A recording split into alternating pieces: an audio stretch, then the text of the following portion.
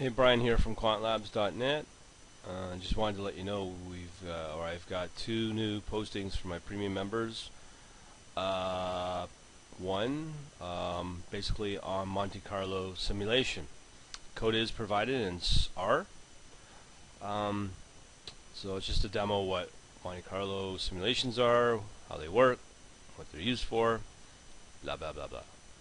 Next up, where is the more exciting stuff? Um, been trying to demo this for quite a while, but I've gotten around to it. Again in R, doing our first um, set of modeling using ARIMA, uh, A-R-I-M-A if I am scaring people with the pronunciation. But uh, it includes a variety of uh, different uh, types of simulators, AR1, AR2, MA, uh, as well as uh, there's lots of plots given um, how they're used, building up different uh, your linear models, how to measure your residual, and your different types of plots. Um, so we've moved forward. Um, it's a half an hour video. Uh, it's quite a bit.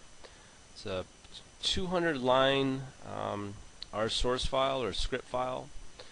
Um, and the next one is pretty hard to find. Uh, that's fairly easy to demo.